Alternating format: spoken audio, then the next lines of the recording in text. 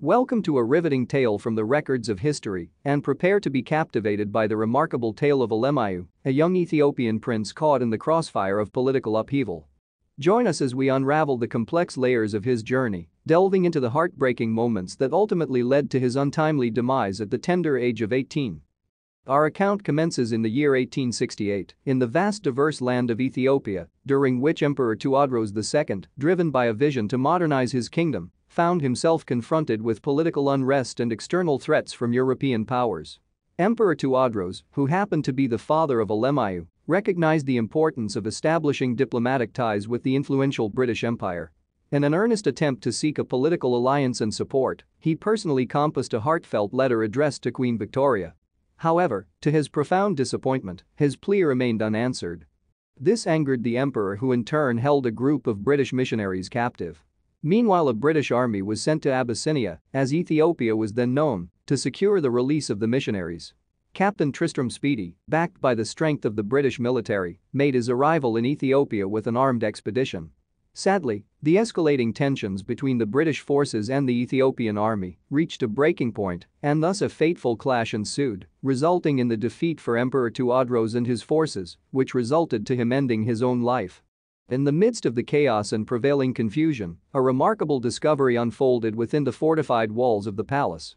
There, hidden inside, was a young prince merely seven years old. This child, Alemayehu, happened to be the son of Emperor Tewodros II and bore the weight of the tragedy as he found himself orphaned by the unfolding events. Understanding the significance of his royal lineage, the British military made a momentous decision to assume custody of young Alemayehu with the purpose of bringing him to England under the care of Captain Speedy. Alemayehu's journey from Ethiopia to England was filled with uncertainty and challenges, as the young prince was forcibly separated from his homeland, his people, and his rich heritage. Upon his arrival in England, Alemayehu's presence immediately captured the attention of Queen Victoria, who in turn displaying a genuine interest in the young prince, ensured that he received a comprehensive education and was immersed in British culture.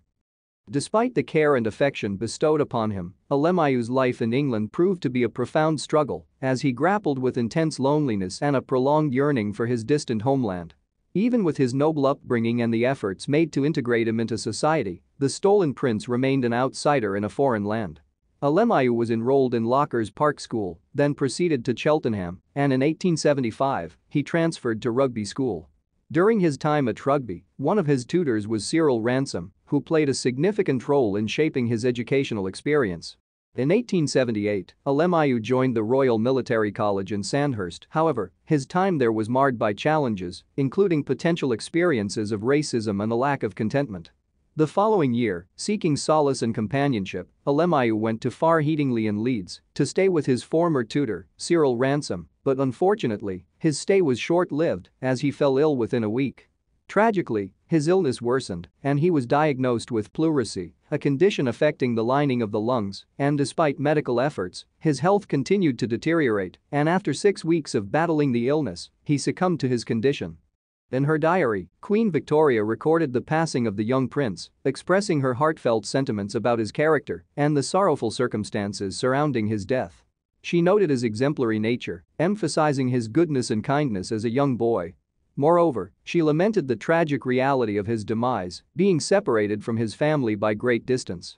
Queen Victoria also acknowledged the profound unhappiness the prince experienced, particularly highlighting how he was conscious of people's stares due to his skin color. Queen Victoria ensured that he received a dignified farewell and was thereby buried at St. George's Chapel in Windsor Castle, which is a significant site for British royalty, on the 21st of November, 1879. Throughout the following years, and even to this day, the people of Ethiopia and their leaders persistently advocate for the repatriation of Alemayehu's remains, urging that they be returned to their rightful homeland. However, these emotional calls have been met with reluctance from the British royal family, who have continuously declined the request.